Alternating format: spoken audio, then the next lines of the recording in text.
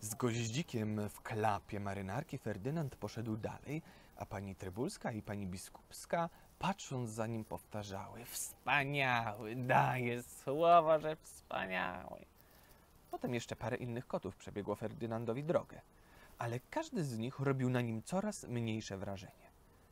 Ferdynand czuł, że jest na koty uodporniony. Żeby nagle na jego drodze zjawił się cały orszak kotów, albo żeby spotkał się w oko w oko z najsłynniejszym kotem na świecie, z legendarnym złotym kotem, o którym kiedy był niegrzeczny opowiadała mu w dzieciństwie matka, to przeszedłby obok nich obojętnie, nawet nie zawarczywszy. Jak tak dalej pójdzie, pomyślał sobie, to dojdzie do tego, że najpierw zacznę koty lubić i potem nie będę mógł bez nich żyć. W końcu sam zacznę je hodować. Kto wie? Może to jest przyjemne? Mieć w mieszkaniu własnego kota? Rozmyślał, idąc których tam raz wzdłuż najpiękniejszej ulicy.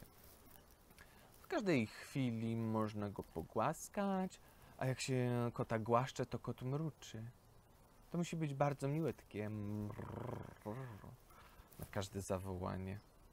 A w ogóle, co tu dużo gadać? Kot to bardzo porządne zwierzę. Siedzi w domu i nie włóczy się po próżnicy. A co do czystości, może być wzorem dla wielu innych stworzeń. Hm.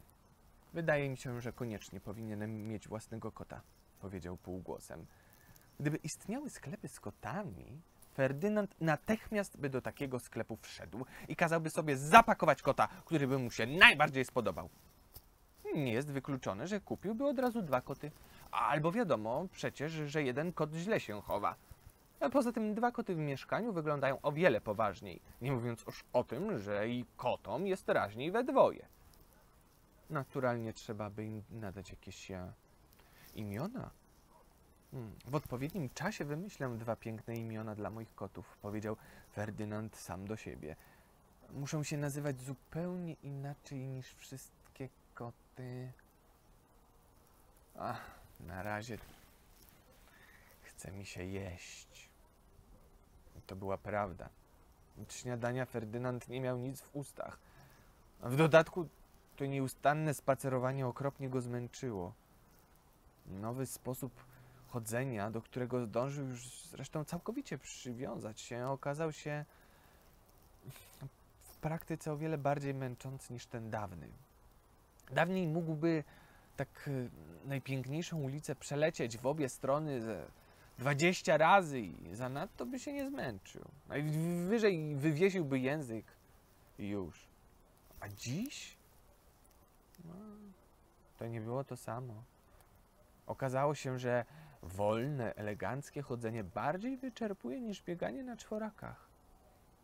Brzmi to nieprawdopodobnie, a jednak tak jest. I na to nie ma rady.